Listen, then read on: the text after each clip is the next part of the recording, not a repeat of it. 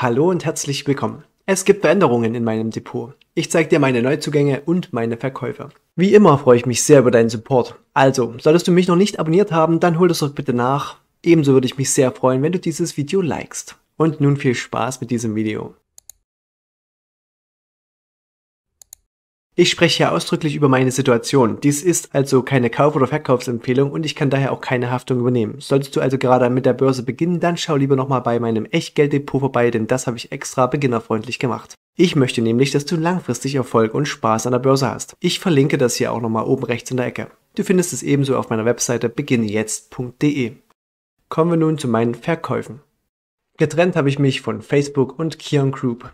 Ich brauchte Geld, um es in andere Projekte zu investieren, von denen ich mir zumindest für die nächsten Monate mehr Rendite verspreche. Kion Group ist außerdem in einem meiner ETFs für Robotik mit dabei. Und Facebook leidet offensichtlich aktuell gerade unter der drohenden Regulierung des Staates, ebenso dass Apple-Nutzer das Werbetracking deaktivieren können. Vielleicht springe ich hier zu einem späteren Zeitpunkt wieder bei Facebook auf. Das wird die Zeit zeigen. Ebenso hatte ich noch zwei Short-Positionen auf den DAX, weil ich Ende Januar davon ausgegangen bin, dass die Märkte deutlicher korrigieren werden. Doch das taten sie zum Glück nicht und daher habe ich diese zwei Positionen mit einem kleinen Verlust verkauft.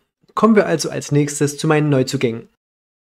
Mein erster Neuzugang ist Skyworks Solutions. Dies ist ein Chip-Zulieferer für 5G-Anwendungen und hat unter anderem Samsung, Asus, Oppo, Viva, Xiaomi und vermutlich auch Apple unter Vertrag. Skyworks beliefert dazu noch führende Netzwerk-OEMs, darunter Cisco, Netgear, TP-Link, Aruba für 5G-Router. Im ersten Quartal explodierten die Umsätze um 58% auf 1,5 Milliarden US-Dollar. Der Gewinn je Aktie landete bei 3,36 Dollar. Für 2021 erwarte ich daher ein KGV von 15 auf Basis der Gesamtergebnisse. Ein KGV von 15 bei einem Umsatzwachstum von über 50% halte ich nach wie vor für sehr günstig.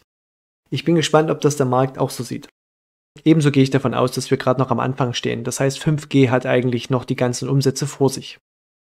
Ebenso hat Skyworks ein Aktienrückkaufprogramm in Höhe von 2 Milliarden US-Dollar angekündigt. Eine weitere Aktie ist die Schaeffler AG. Das ist ein Auto- und Industriezulieferer.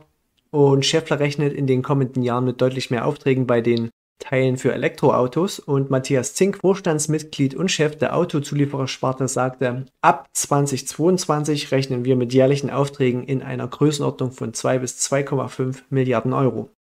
Deswegen bin ich hier investiert. Und zum Schluss noch zwei Werte, die einer womöglich stärker werdenden Inflation etwas entgegensetzen können. Whale SR. Ich erwarte hier eher eine gemächliche Bewegung, denn es handelt sich hier um ein richtiges Schwergewicht, aber mit überzeugenden Perspektiven auf Sicht der nächsten Monate.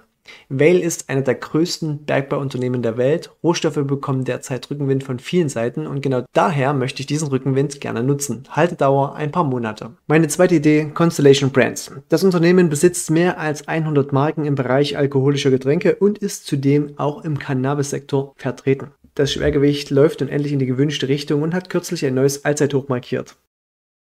Je mehr Inflation der Markt einpreist, desto stärker dürften die Papiere dieses Konsumgüterherstellers davon profitieren. Dies waren meine Neuzugänge für Februar. Welche Aktien oder ETFs haben bei dir den Weg ins Depot gefunden?